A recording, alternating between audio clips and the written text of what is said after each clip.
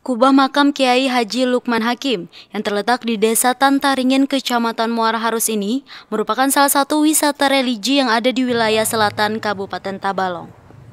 Sejak sang tokoh alim ulama wafat tahun 1992 silam, penjaga makam ini dimandatkan kepada ahli warisnya, yaitu anak laki-laki dari Kiai Haji Lukman Hakim, yang mana saat ini ahli waris diturunkan kembali kepada sang anak, Faizatul Hasanah, yakni cucu dari almarhum Kiai Haji Lukman Hakim.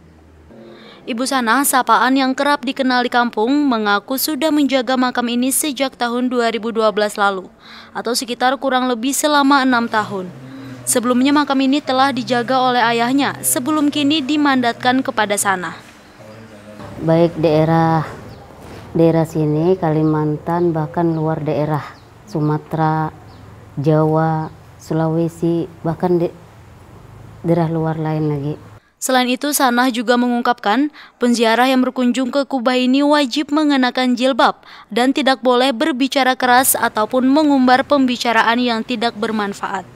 Karena hal tersebut merupakan salah satu dari adab saat melakukan ziarah. Tim Liputan TV Tabalong melaporkan.